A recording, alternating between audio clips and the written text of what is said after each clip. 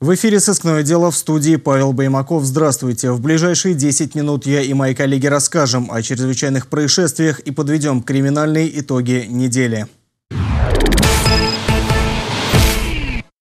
Около 30 тонн этилового спирта неизвестного происхождения изъяли полицейские в Кинельском районе. Жидкость хранилась в цистернах на территории одного из цехов, где, по данным полицейских, из нее собирались изготовить контрафактные алкогольные напитки с целью их дальнейшей продажи.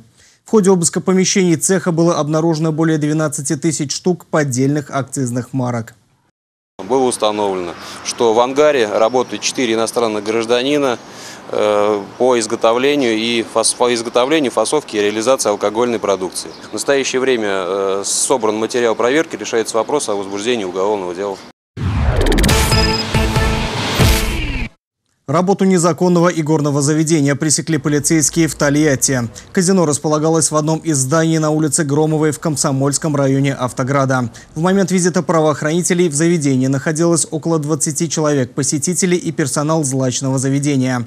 В ходе осмотра помещения было обнаружено и изъято два покерных стола, игральные фишки, документация и деньги более 30 тысяч рублей, предположительно добытые незаконным путем. В настоящее время собран материал проверки, решается вопрос о возбуждении уголовного дела по статье 171 прим. 2 Уголовного кодекса Российской Федерации. В Самарской области продолжается борьба с незаконной торговлей алкоголем. Очередной совместный рейд полиции и активистов общественного движения «Народный контроль» прошел в Сызране, где в одном из киосков, находящихся на мини-рынке, незаконно торговали так называемыми фанфуриками с настойками. Товар на витринах отсутствовал, так как на его продажу у предпринимателя нет лицензии. Спиртное продавали из-под полы. Совместно с администрацией также будет приняты меры и там будет либо построен цивилизованный рынок, который необходим гражданам, да, либо этот рынок будет просто-напросто закрыт. Теперь собранные полицейскими материалы будут направлены в суд. Предпринимателя, возможно, привлекут к административной ответственности. Кроме того, собственник киоска может лишиться прав аренды на земельный участок. Обо всех фактах незаконной торговли алкоголем вы можете сообщить по телефону, номер которого вы видите на экране. Несколько человек пострадали, три автомобиля оказались разбитыми в результате аварии, которая произошла в районе Жигулевской ГЭС.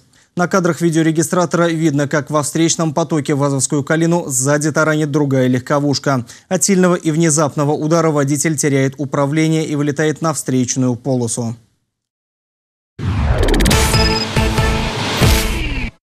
Более 40 команд приняли участие в чемпионате России по стрельбе из стабильного оружия среди сотрудников ФСКН, который прошел в Самарской области. С подробностями наш корреспондент. Мишени распределены, оружие наготове, участники чемпионата на огневом рубеже. Теперь главное сконцентрироваться из 25 метров, поразить цель.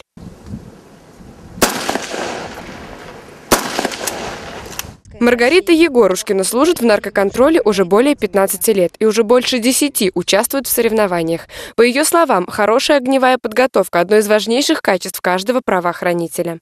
Основная задача, так наравне с физической подготовкой, с легкой атлетикой, с какими-то еще видами да, спорта, это основная обязанность э, сотрудника не только наркоконтроля, а всех правоохранительных органов России.